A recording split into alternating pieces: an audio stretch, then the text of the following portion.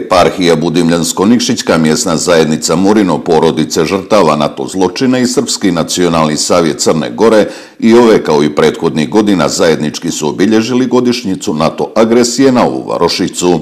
Obilježavanje je započelo za upokojnom liturgijom u crkvi Svete Petke, koje je služio njegovo preosveštenstvo episkop Budimljansko-Nikšićki gospodin Metodije, koji se u prigodnoj besjedi osvrnuo na veliki zločin NATO alijanse, u kome je stradalo šest osoba, od kojih troje djece.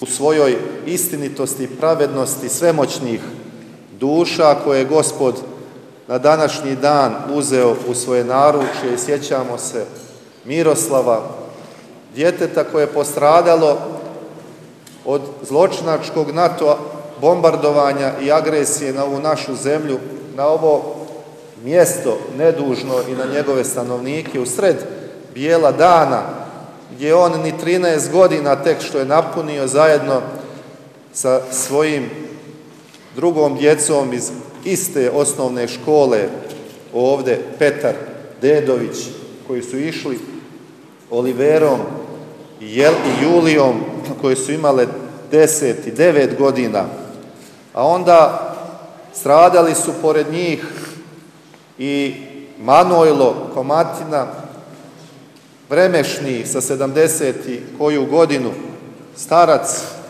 i Milka sa 69 godina domaćica i radnik u istoj toj školi u kojoj su išli ova djeca pobijena Vukić Vuletić sa svojih 50 i neku godinu.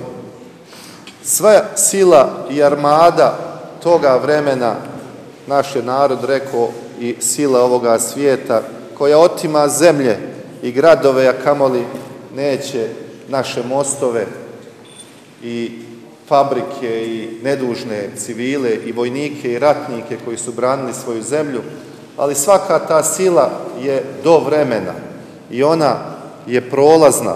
Kako se capti i razvija, tako dođe vrijeme njene razgradnje i nestanka, kao što su nestale sve sile i ranije u istoriji ljudskog roda i imperije, kojima se više ne zna ni kamen na kamenu, ali pamte se imena onih istinitih, pravednih i nevinih duša nevino postradalih. Vijence na spomen obilježje koje je prije par godina obnovio Srpski nacionalni savjet Crne Gore položile su porodice žrtava, novo izabrani predsjednik Crne Gore Jakov Milatović, predstavnici vlade Crne Gore, predstavnici ambasada Rusije i Srbije, delegacije političkih partija, Demokratskog fronta, Prave Crne Gore, Slobodne Crne Gore i Socijalističke narodne partije, predstavnici lokalnih samuprava iz više crnogorskih opština, Srpskog nacionalnog savjeta i brojnih organizacija. U ime porodica žrtava obratio se Bojan Komatina koji je zahvalio svima na brojnom prisustvu i što čuvaju uspomenu na tragično nastradale, a osvrnuo se i na odnos države prema žrtvama. Svi mi smo se nekako i navikli na takav odnos za vrijeme neka bivše režima i bivše vlasti. Navikli smo se i nekako smo znali kako da se odnosimo prema tome i kako da se borimo sa tim. Ono što smo očekivali jeste istinski i suštinski odnos, promjena odnosa prema ovom zločinu i ovim žrtvama nakon promjene vlasti nakon 30. avgusta 2020. godine. Nažalost, ja mogu do danas da konstatujem da suštinski i istinski nismo imali nikakav, nikakvu promjenu odnosa u odnosu na ove žrtve i na ovaj zločin. Današnji dan budi nadu da taj odnos može biti drugačiji.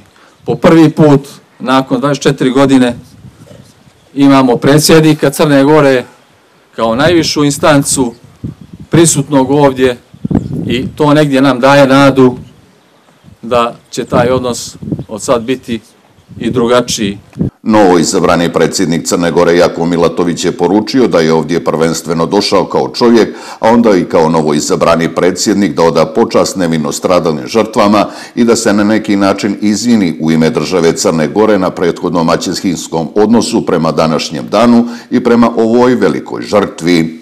30. april 1999. godine je bio tužan dan.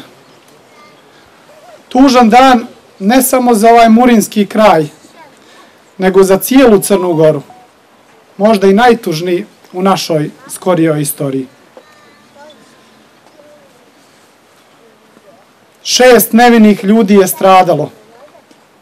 Stradali su Olivera, Miroslav, Julija, Manojlo, Vukić i Milka. I to stradanje obavezuje na sjećanje.